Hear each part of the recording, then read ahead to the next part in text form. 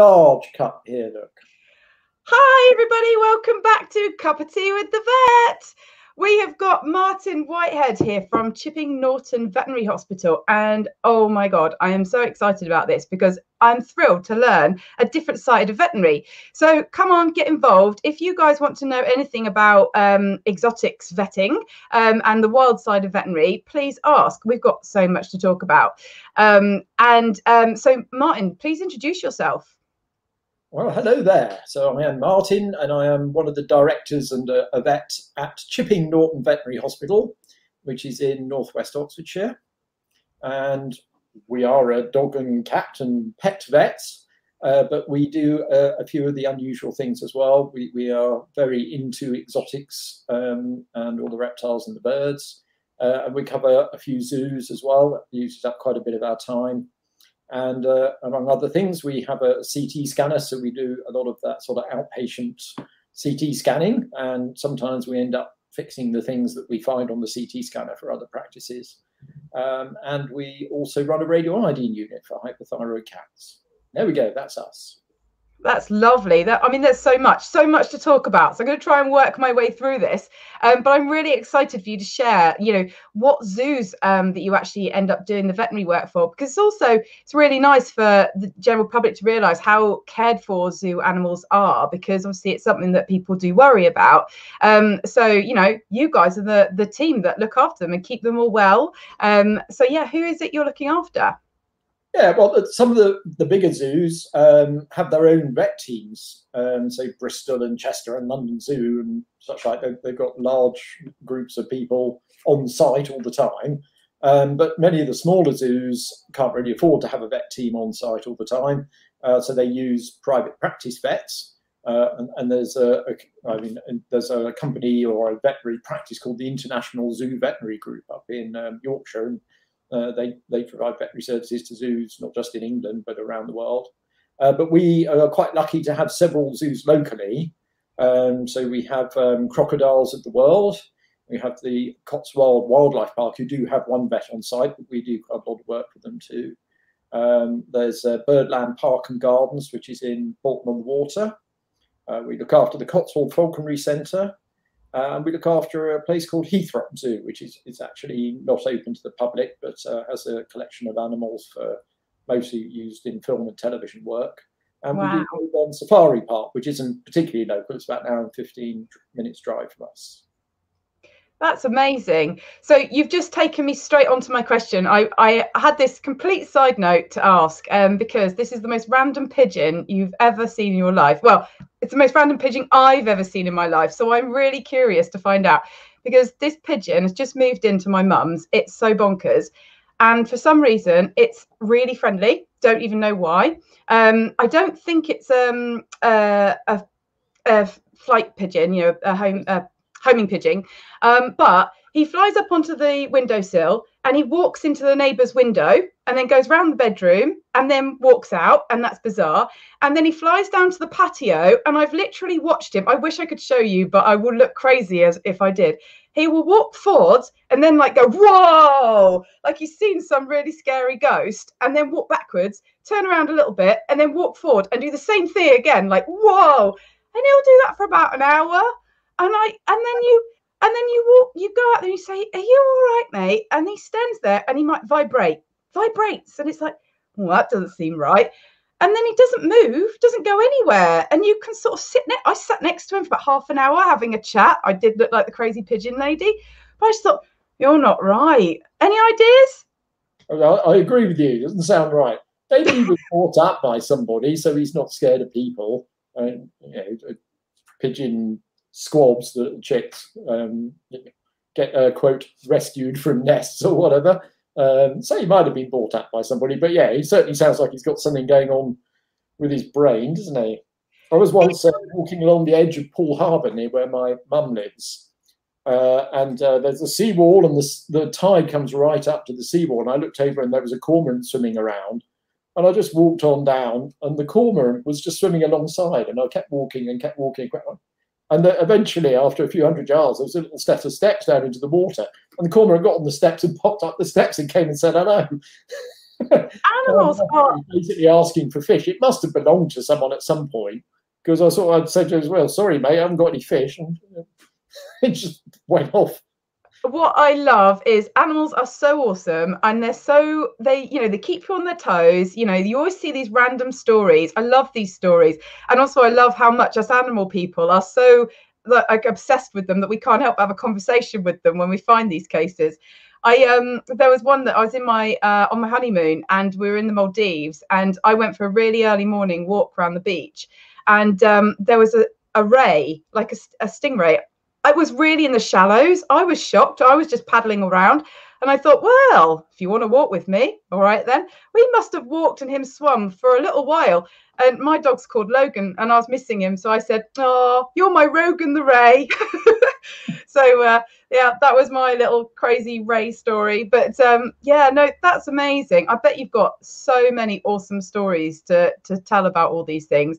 But I want to hear a bit more about your um, cat radiotherapy as well, because I, I, remember learning about that when I was um, a student nurse, and I was always quite amazed. But I'd actually never come across anyone that actually has a radio unit for thyroid cats. Um, so yeah, please tell a bit more about it, because I think it's really important because hyperthyroidism is so common in cats as well. Yeah, I, I, think it's probably becoming more common as well. But there's uh, oh. maybe 15 centres in the country doing this now. It's certainly something that seems to be um, getting more popular. Um, uh, we've been doing it for about three years, just over. We've probably treated about 250 cats in that time. Wow. And uh, we're not, we, we can do four cats at a time. We're actually expanding the unit at the moment. Um, and uh, it's it's regarded veterinarily as the sort of gold standard treatment because it doesn't involve any surgery. Uh, it's a pretty easy thing for the cats, it's just a simple, very small injection in the back of the neck. It's just like having a vaccination for the cat. And the radiation doesn't feel like anything, so it's not uncomfortable for the cat at all. But obviously, because they're radioactive and we're not allowed to expose members of the public to radiation, they have to stay. Um, we, have got a, a special sort of screened unit at the back of our hospital, and they have to stay in there for up to 10 days in our case. Um, um, so can go home quite a bit earlier than that. Um, but many case, many places, there's, there isn't a, a, sort of fixed rule as to how long they have to stay in. Uh, and the time they stay in is provided by a professional called a radiation protection advisor. He's given us a set of rules for when they can go home. Um, and, and, different radiation protection advisors give different people different times. Uh, so we, have got one of the shorter hospitalisation. That's amazing yeah. It's really it's, it's really interesting. Is it very similar to how humans have the radio the radiotherapy? Yeah it's, it's very similar. In humans they they usually i think they usually have a capsule uh, and swallow it. Uh, and you can do that in cats as well but you've got the problem of getting the capsule in the cat. Yeah. Uh, it bites it or spits it out. You might get a little radiation everywhere. So it, it's better just to inject it. Um, you can inject it intravenously too but obviously it's a bit easier just to do it in the um, scruff of the neck uh, and um, obviously, I knew it worked, or I wouldn't have opened a radioiodine unit. But I have been so impressed with how how effective it's been. It's extremely rare that it doesn't work. It's really good, and obviously, this is something that tends to be diagnosed in older cats. So, is there sort of a max age that you would do, or would you just check, you know, depending on their general health, then it's acceptable whatever age? Yeah, if if they're healthy apart from their hyperthyroidism or, or don't have any sort of severe disease, any age. I've certainly treated 18, 19 year old cats. Wow. Um, I, I, also get the impression, I don't know if it's true, that cats tend to be being diagnosed a bit younger. I'm treating quite a lot of 9, 10, 11 year old cats. In fact, one of the cats in the unit at the moment is only six. Oh, wow. And it is extremely hyperthyroid.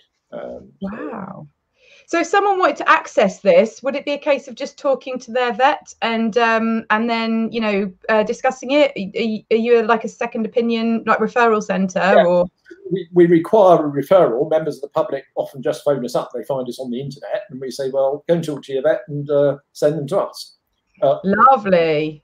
If you're a long, long way from Chipping Norton, there's there's other radioiodine centres are available, as they say on television yeah no no that's just really interesting for people to know because obviously like i say it is such a common thing that you know i'm sure that people will be thinking oh actually well how do i do that? So um, that's really good. So talk to your vets. Know that it's out there. Know that it's available because you know if you've got a family member who's had it for themselves, like in the human world, you'll probably be thinking, well, why isn't this available for my cat? So, you know, which I, I always think, you know, it's it's it's really important to acknowledge from the human perspective as well, because when people have been through these things themselves, then they do expect these same things for their animals as well. So um, it's it's really nice to know when it is mirrored and when it is available. So uh, yeah, very interesting. Cats who belong to people who've had radioiodine treatment. So I also want to get to know a bit more about you because it's really nice to um, learn the human side of these vets and not just you know all their clinical stuff, which is always lovely, but it's always just nice to know a bit more about the human that's actually treating our pets. Um, so what do you like to do in your spare time? Wow, I'd actually spend quite a lot of time um, doing not work, but veterinary related projects. I, I have some um, research projects on the go, and, and, I do a fair bit of writing um, papers, and reviews, and that sort of thing for the veterinary journals and such like. So that uses up a bit of time. Uh, I do a bit of cycling to try and keep fit. Uh, and I like to read science fiction novels if I have a, if I have a bit of spare time. Wow, uh, you're so busy. Uh, yes. what's your latest bit of what's your latest bit of research? Because it sounds like you're basically veterinary through and through which is really lovely. Um, so i'm glad you find some time for your cycling but i'm always really curious as well. So what is your what is your latest research that you're doing? Um, well there's, there's quite a number of projects on the go actually but um, we, we bought something called an atp bioluminescence meter wow it's a really cunning bit of kit i'm glad i can talk to some other vets about this um, and it was developed for the National Health Service and other health services to try and um, reduce MRSA and Clostridium difficile um, infections in hospitals. It's a little handheld meter, it's about this big. You get a, a swab, which comes in a, a, a, special liquid, and you rub it on a surface. Uh, and you put the swab in the liquid, which contains luciferase, which is the enzyme that makes bioluminescent fish glow. Yep. And if there's organic material on the surface that has ATP in it, the ATP activates the luciferase. There's a little light sensor, detects the glow, and gives you a number. So the number is proportional to the amount of ATP, which is proportional to the amount of organic matter on the surface, which is proportional to how badly cleaned it's been or how well. Wow. So you can actually objectively monitor your cleaning. When vets clean something, they clean it and then they look at it and go, oh, yeah, that looks clean but that's actually not a very good way of assessing your cleaning. So with this, we can take the swab, put it in, 15 seconds, we have a number. There uh, is going to be so many uh, cleaning obsessive people out there going, "Oh my god, I want one!" Um, and couldn't that well, be better timing? Nurses did a very nice project for us, which was going to be presented at the BSAVA conference, which got cancelled. But um, we we um, swabbed some standard places through our clinical areas of our hospital and our nurses who do the cleaning knew this was going on, but they didn't know when we were doing measuring and where we were measuring. And we swabbed about 10, 11 times over a few weeks. Then we changed our cleaning protocol and did it again. Big decrease in the numbers. Wow. Uh, shows that uh, actually monitoring it can make a big difference. And there were places, I mean, we, we don't have any sort of problem. We don't have lots of infections or anything. But there were places, especially the toggle on top of the anesthetic machine. God, oh, was, yeah. Yeah. And despite the fact we thought we were cleaning pretty well. Uh, it's always really interesting, isn't it? Because also you do, you find you, you get in a, I don't want to say a rut, but you know, you have your mojo that you go around and you get faster and faster because you know that that's the route. And if you don't have something within that route, then yeah, it's missed. And and actually, I think it's really, you know, it's really good that you're being so vigilant about checking things over because it's not even like you say, it's not about having cases and constantly getting back oh god another infection it's about just trying to improve and be better and um and that's really great and and as i say i mean it, the timing couldn't be better during covid i mean that's just bonkers timing for you isn't it? Because obviously everybody's obsessed with cleaning everything right now. So um yeah that's quite that's impressive stuff. How exciting. That would be really good. Well, well you'll get quarantine has messed up stage two of this little project because we were going to other practices and measuring the same sorts of places in their practices to see how much variation there is. So we were going to some referral centres and some other practices, um, so we could compare and get an idea of a sort of cleaning effectiveness throughout the profession. That is really interesting. That's really interesting. Well, congratulations, and I, yeah, I, like I say, I, I, hope you get to present that properly um, at the BSAVA because that will be amazing. And I have no doubt that that will cause some um, lots of discussion, uh, especially amongst the nurses who are the ones who end up doing a lot of the cleaning. Um, so yeah, no, that's really good. So I wanted to ask. Oh, and by the way, everybody watching, please ask questions. Get involved. We want some more input as well. Um, so yeah, what made you decide to be a vet? My wife. Because you've got history in, in humans uh, research, haven't you? You're a researcher through and through. Yeah. So when I, um, I, when I was a kid, I, I, didn't really know vets existed. To be honest, I mean, sort of well, theoretically, I knew they were there, but I didn't know anything about them. We didn't have pets really in our family. There were actually we did have a couple of tortoises in the back garden, but in those days, you know, you didn't really much interact with the tortoise.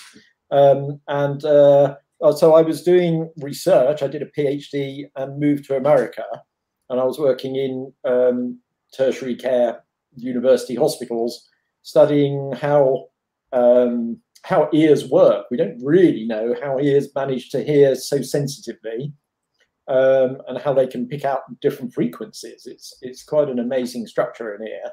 Uh, so I was doing basic research into that, but also developing clinical tests, mainly to work out whether babies were deaf when they were born. Wow. I was doing this. Most babies who were deaf at birth um, were actually not diagnosed as deaf until they're about two and a half years old because wow.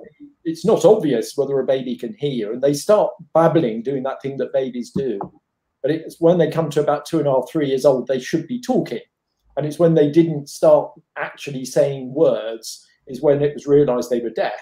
But by that time, a lot of their brain speech processing circuitry is, isn't developed because they've been deaf.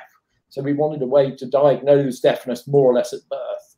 And um, I studied uh, ears actually produce sounds as well as hear sounds.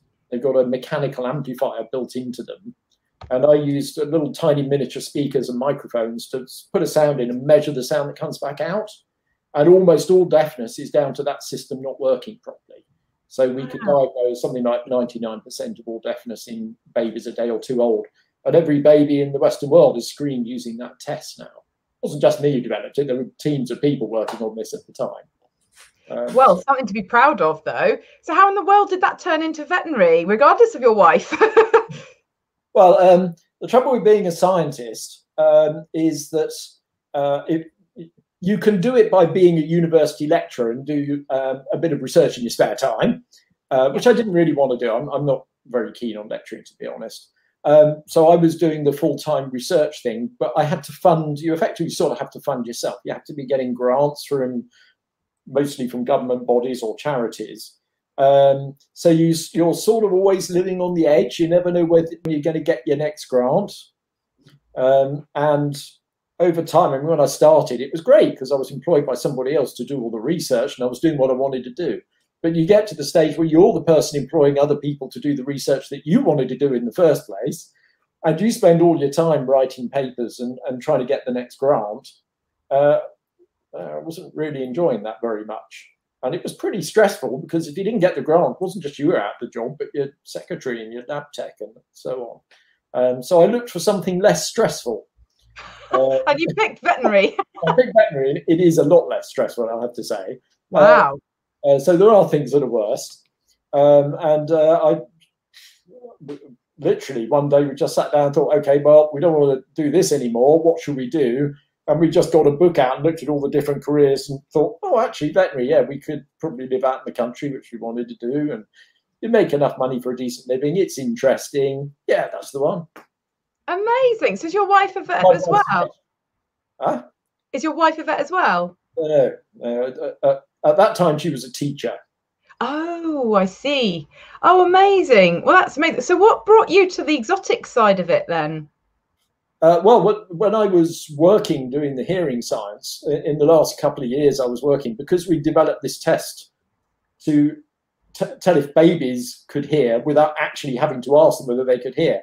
I'd get phone calls from people working on wild animals or something who wanted to know whether they could hear or not.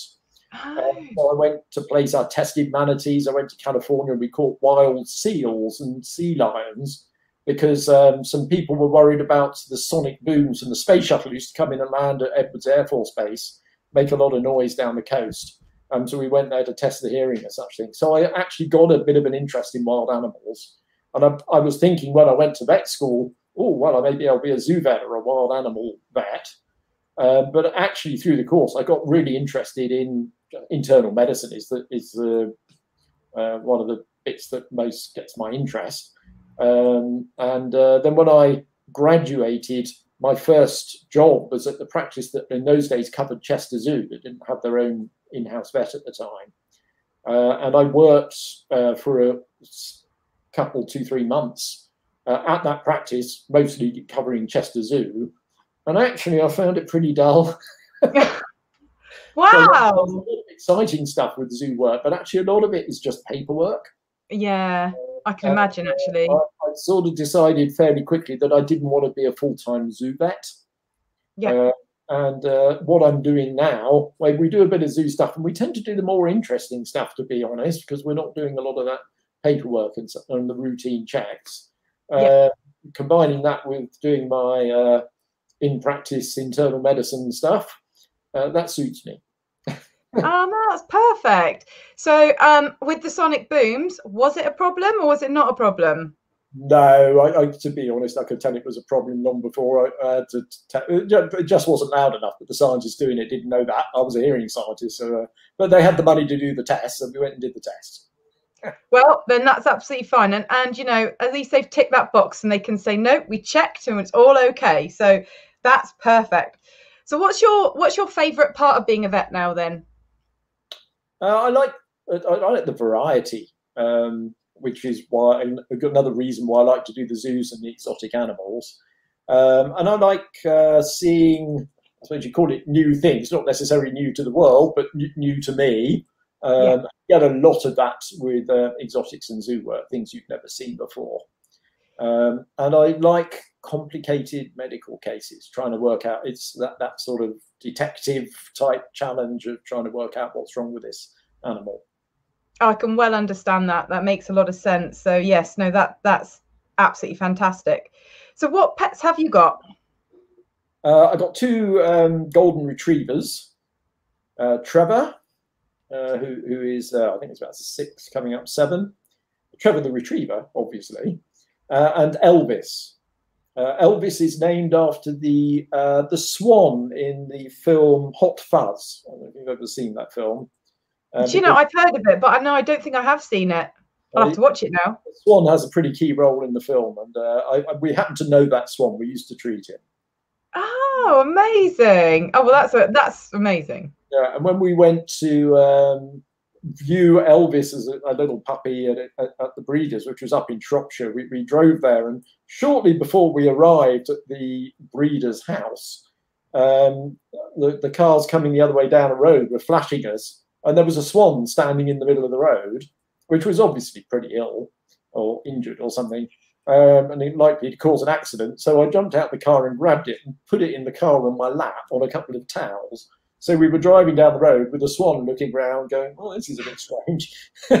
so the kids who were in the back, obviously, and loved the film Hot Fuzz, said, "Oh, we've call it Elvis." So that's how the dog ended up being called Elvis. Amazing. That's a great story. There must be something about dads and I was going to say dads and um oh, hit by cars. Um my dad ended up it's very similar. I was a kid in the back of the car and somebody had obviously hit a rabbit and dad saw it. It was stunned. So he did that. He picked it up. This is years ago. My God, so many years ago. Um, and put it on his lap and ended up driving home with the rabbit on his lap. So uh, I think it all came good. And then he ended up taking it back out down there to go and put it back out. And um, but yeah, I think that's really sweet. That's a proper dad story. That is.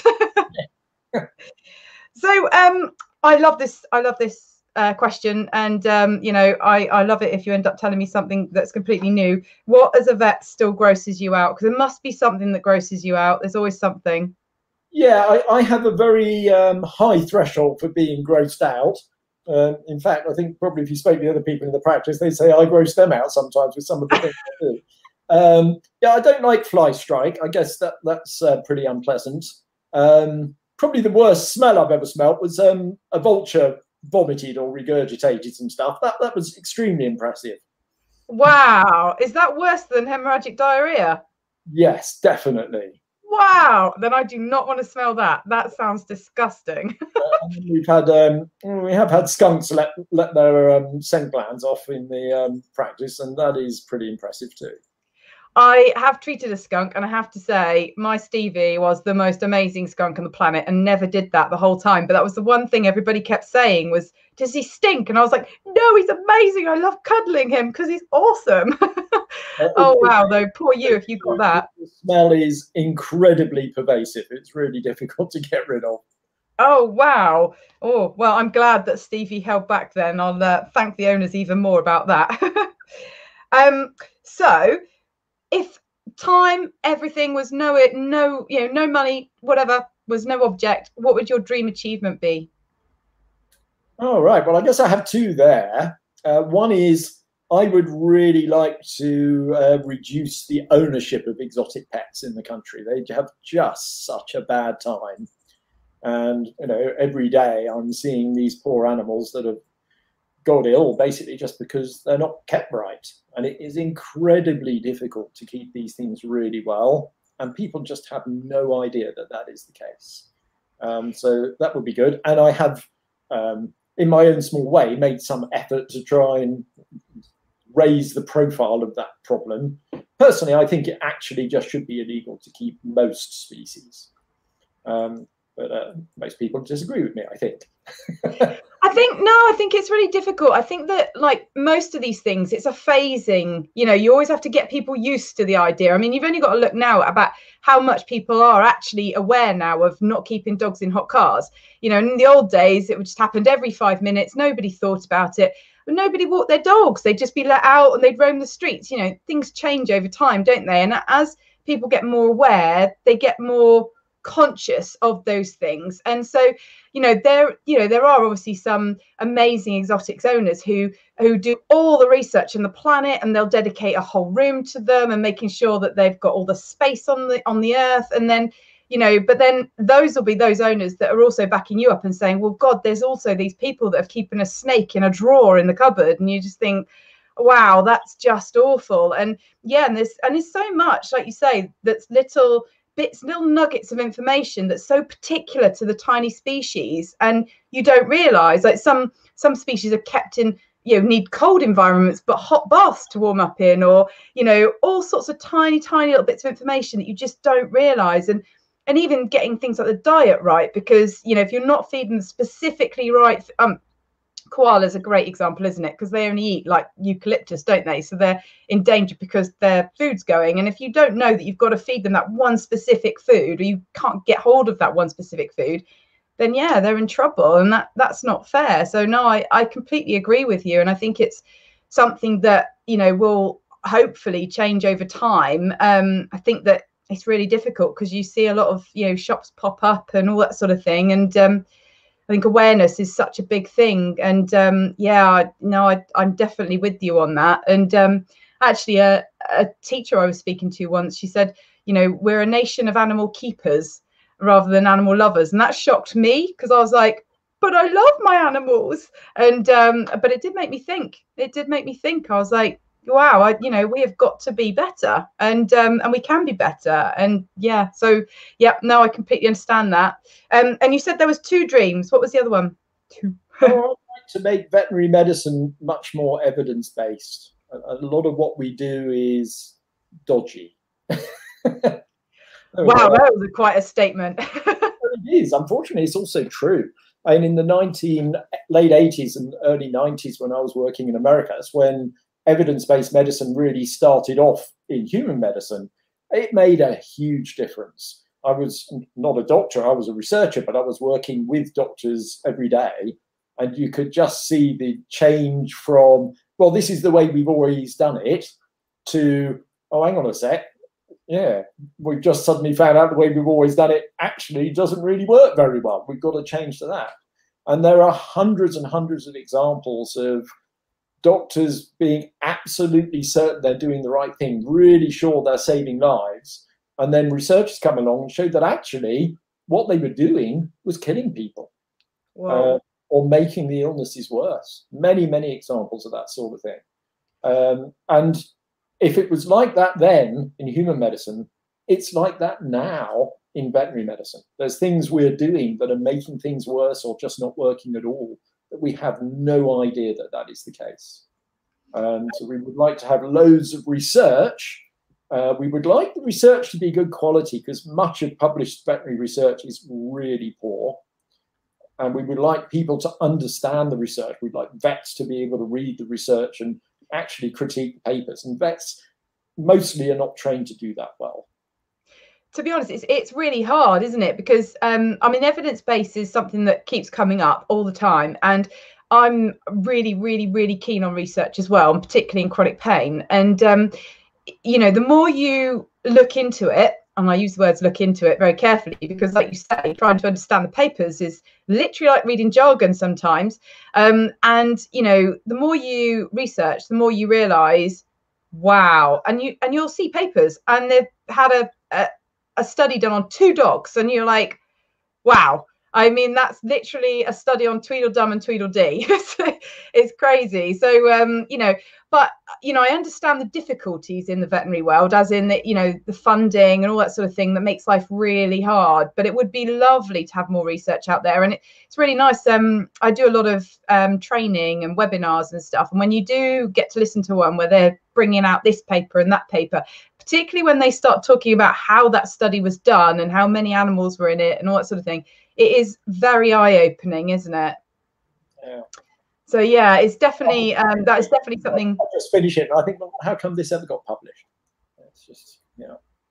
I think times are changing. It's definitely getting there, and it's um, definitely changing. And uh, but it is very, very interesting, and it's always interesting having the arguments as well, isn't it? Because you know there'll be one person sitting on one fence and the other person sitting on the other fence, and it's like, oh, and it's very hard to know, you know, what's the right answer because we just haven't got enough papers done. And I and I do think that's the one thing all the researchers agree on is we need more papers done. Um, and breed. Uh, well, some breed specific, but other species specific as well, because you can't just say that it's okay for a cat because it's okay for a dog. That doesn't work at all. So, uh, yeah, it's really it's very interesting. So, yeah, those are those are some great goals and achievements. So, um, uh, yeah, achievements if you can manage to pull it off. So, uh, good luck to you. Good luck to you. So, um, I think I'm gonna I'm gonna know what this is. But if you could be amazing at any sport, what would it be? Oh, you think you know what it is? I don't really have any interest in sport at all, to be honest. Oh, but you did cycling, so I was guessing at that. oh well, yeah. I mean, I, I do the cycling just to keep fit more than anything. I do. I I used to go on hundred, you know, huge long cycle rides. Much less these days. Um, but yeah, I, I, enjoy a cycle ride, but uh, I'm not a, a, competitive cyclist. I just go out and do it for uh, a bit of enjoyment and keeping fit. Uh, the only sport I think I've ever um, actually played competitively uh, is squash. I really wow. used to when I was young, so I, I, guess that's probably the answer. I guess, but I'm a bit past it now, doing that sort of thing. Never. I refuse to believe that. It, I I absolutely know that there are veterans competitions out there for anyone. So um, and I said that to one of my clients the other day, and he said, "Oi, careful on the veterans word." And I didn't know that apparently there's a senior before veterans when it comes to golf. so um, I'm a gymnast and I, I'm classed as a, a, veterans gymnast as soon as I hit 21. So I, you know, so I thought, oh, that's it. Everybody's a veteran after 21. Turns out I'm wrong. So my, my point is you can definitely go and do veterans squash. I'm sure that you can. But I wouldn't want that ball coming anywhere near me because they look painful.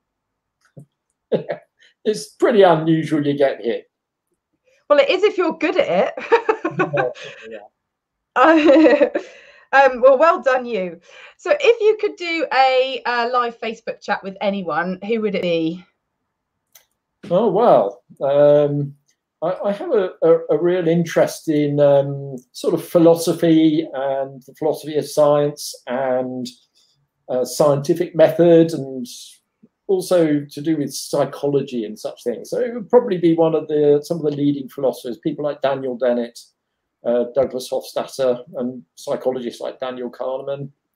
Um, so there you are. These are all people you don't know by the look on your face. Definitely, I'm afraid, yes. They're all, um, well known in their field. They're all the sorts of people who've written lay books about um, those sorts of subjects. I, I, I think I'd have a great time chatting to those people. I think that's amazing. And it doesn't matter that I don't know who it is. I'm sure that somebody out there watching will know exactly who they are. And certainly your subject sounds amazing because I love talking philosophy. Um, although I'm not going to say that I'm at any high level about it at all, but I always find it amazing that the kids now, my daughter's six and she does philosophy at school. How amazing is that? That's so cool. They do like literally like the philosophy of Goldilocks.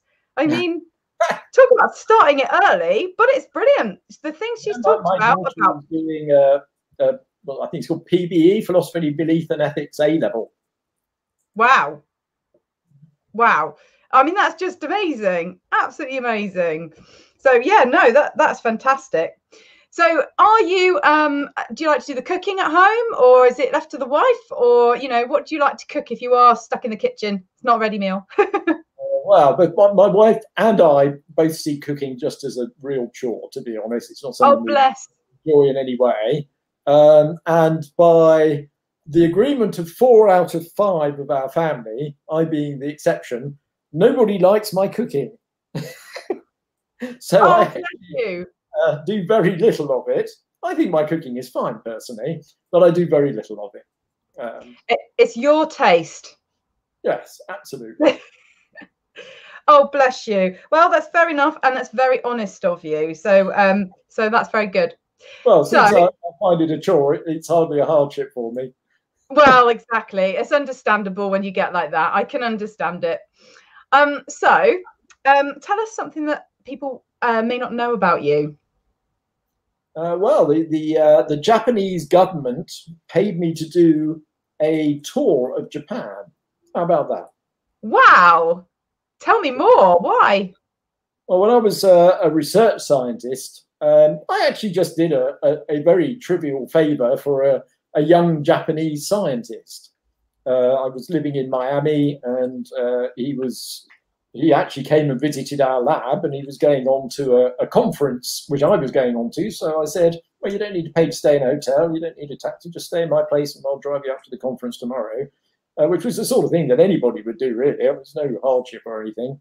And the next year, his boss, um, who was quite a high up uh, professor in the, the, field I was working in in Japan, actually came and found me and, and sought me out and said, Oh, thank you so much for helping my young colleague last year. And we had a bit of a chat. And he said, Oh, you must come to Japan, which I thought was just a sort of polite thing. I, about three weeks later, I got this package on my desk of grant applications saying, Sign here. Uh, so I signed and ended up doing a tour of Japanese medical schools to explain the work I was doing uh, to try and develop tests of uh, hearing in babies and about my basic science. And I spent a very um, interesting month um, traveling around on the bullet train, going to different medical schools. And fortunately, my work was way ahead of the people in Japan, so I, I, I didn't feel like a fraud. I actually did do some good while I was there. But at each place we went to, um, the professor's wife would take the day off and take my wife out for the day and do all the local tourist things while I was in the medical school. Then we'd go out to this amazing banquet in the evening. And then the next day, the professor would, would take us out for some, some jolly. So it was actually quite an amazing experience. How incredible! That that's amazing. What was that bullet train like as well? Because that's supposed to be like, is that the fastest train in the world? Uh, they are extremely fast and they are just stunningly efficient. Um, that they pull into the station, you know, if they're more than a few seconds late, that's just a catastrophe. That just doesn't happen. And they put up that there's pictures of your feet on the ground, and you go and stand where the feet are, but marked on the ground, and that's where the door will be for your carriage. It, it just makes our um, train system look ludicrously um, primitive. And, and that, I don't think it takes much to do that. so, um, tell us a bit more about your practice as well. You know, what other amazing things does your practice do? You know, um, shout outs to any staff, really. Oh, wow. We, we, we uh, it, it's hard to know when you work for a very long time in any one practice how good you are compared to other practices, isn't it? That's very honest of you. I like that. I, I think I mean, we, we're a, what they call it a t- tier three practice, our hospital practice on the RCVS practice standard scheme. Uh, we have a lovely big custom built um, building on the edge of Chipping Norton. Lovely rural area. It's a nice place to live and beautiful views out of the back of the, ho- of the hospital. Um, and we're pretty well kitted up, I guess you could say. We, we have a CT scanner and high quality ultrasound and digital x rays, as well as a radio iodine unit, and all the kit that you need to do um, anything with cats and dogs, basically. Uh, we, have got some certificate holders in the practice, fantastic team of nurses. Uh, and we also have specialists come into the hospital. We've got a specialist surgeon who visits regularly. Um, and obviously, for him, it's great to have a CT scanner there uh, as well. Um, and uh, under normal circumstances, we have a, a, a specialist ophthalmologist comes, um, but she's um, uh, not doing that at the moment because of COVID 19. Uh, yeah. And we also have a, an expert dermatologist come. Um, wow. So, uh, we, we can do pretty much anything. We also take uh, yeah, medicine and surgery referrals. Some of the local practices send stuff to us partly because we've got the CT scanner and, and partly because we're capable of fixing some things some of the other local practices can't. Well, absolutely. You were nominated by Tanya um, because obviously she uses your services and thinks you're fabulous. So, um, so years ago. Yes, amazing. So, I also want to ask, what do you love about physio? Well, that's a very brave question to ask somebody who's into evidence-based medicine, isn't it? we try very hard. I'm very aware of the research situation, hence why I said what I said earlier. As you know, I read a lot and I'm trying really hard, and uh, I myself am um, very keen to do more research and have been trying to um, get involved with that more. So yes, I am very aware of that situation. Um, but you know, there are more and more papers coming out there, um, and you know, I mean it's hard when you're trying to wait for the papers absolutely. But i know that there's evidence because i see it all the time. And so do my guys so but that's, that's the i appreciate that's the anecdotal evidence well it is, it is anecdotal but as i said you know for there's many many examples of doctors who really thought they were helping who are actually making things worse or, or having no effect so it is really difficult to know sometimes whether you're helping or not um, but in human medicine, no doubt, there's some really good, very strong evidence that physiotherapy helps various conditions. Um, so undoubtedly, there will be the same uh, for dogs and cats. But so there's not a lot of evidence around to actually say that is the case. Um, and a lot of what some physiotherapists does seems to me um, I don't know. So we got hydrotherapists getting dogs into swimming pools to lose weight, whereas I suspect actually they could lose weight a lot just as well in some other ways. But there we go. It's a very um, yeah, it's a very big su- uh, subject and lots and lots of discussion um, to be had. And um, but you know, I I absolutely uh, promise you, there's a lot coming up, a lot uh, being done, and um, the uh, one of the groups that I sign up with, um, they do a research refresh um, and we talk, uh, well, basically, they talk about new papers all the time. They literally go through the whole of the paper, pulling it apart in a really um, a good way for everybody to understand, which is really nice. Um, so I think perhaps I should send you some of the papers to help you feel better about it. Um, so uh, yeah, because it's it's definitely getting more and more evidence out there, which is really really great stuff. Um, and uh, yeah, I mean, obviously I love it because I'm sold in it. So um, you know, don't worry, we will get you convinced and and on it. So it's all good. Um, so, uh, what's the most spontaneous thing you've ever done? Uh, I actually um, don't do much spontaneous. I couldn't can't think of an answer to that question at all. I'm very unspontaneous, me. oh bless you. Oh bless you. Was it i mean it might have been coming on here. You might have been like actually all right i'll do this interview. Whoa. I, I, didn't really think about it. I just thought yeah i can do that. There if, you if go. Spontaneous that'll do. There you go. Perfect. Um so um, what's the weirdest dream you've ever had? Oh wow, yeah. Um, I was one that one that always stuck with me. I don't know what the whole dream was about, but I I saw a car park take off in the air and fly around like a magic carpet, and all the cars were falling off it as I was watching it. That was pretty weird. Uh, for some reason, that was incredibly vivid. I mean, most dreams, you wake up and you think, oh, that's a bit weird. You might tell your wife, and, and by the, half an hour later, it's completely gone. But that one's always stuck with me for some reason. Mm, now I feel like we need to get some dream interpreter watching, and um, there you go. That won't be evidence based, um, but um, they can sit and tell you. I mean, it sounds very Aladdin, doesn't it? Yes. that's very that's a very good one. That is a very good one. So, um, what's the coolest animal you've treated? Because obviously you've treated some amazing animals, but what would you consider the most bonkers of them all? Oh, I don't know what you mean by bonkers. Um, I've treated some very rare ones. So, Tuatara, which is uh, it, it, looks like a lizard but isn't, uh, and it's the only sort of surviving member of a, a, sort of group of animals that have been around since uh, well, for about 250 million years, I think, something like that. So wow, uh, an interesting. That's amazing. What was wrong with it? Oh, it just had some wounds around its uh, infected wounds around its mouth. Um, and uh, but you know, I've treat. That's the thing. If you're a zoo vet for 20 something years, you end up treating almost anything. Or so we, we I've treated scorpions and tarantulas and never treated an octopus. I've obviously, well, I'd like to have a go at an octopus at some point. many of those around the middle of Oxfordshire, though. And, and I've not had anything to do with uh, whales or dolphins either. Uh, it'd be interesting to do those. But yeah, I've treated the big cats and the wolves and the um, all sorts of small furry things and many, many different types of birds. That's amazing. That is amazing. I'm very. Do like giant tortoises. Oh, cool! Yeah, they. Oh, yeah. Cotswolds have got loads of those, haven't they? Yeah, and uh, so so is uh, the crocodiles of the world too. Too. Have you ever been bitten by any of those crocodiles? No. any close calls? Not not with the crocodiles. No, they, they can be a bit tricky to catch the big ones because you can't dart them because the darts just bounce off.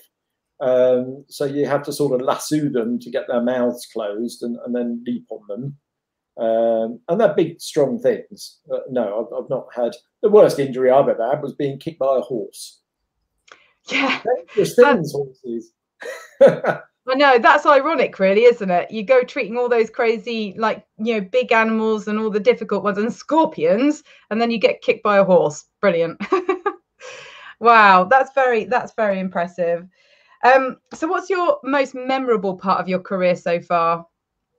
Oh, blimey. Um, uh, well, you you get to see some interesting things.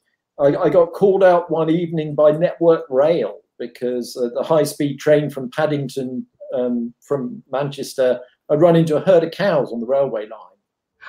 Uh, and that was very, very impressive. I had to drive out to some country location and walk up this track, and then we walked about half a mile down the railway line past this train.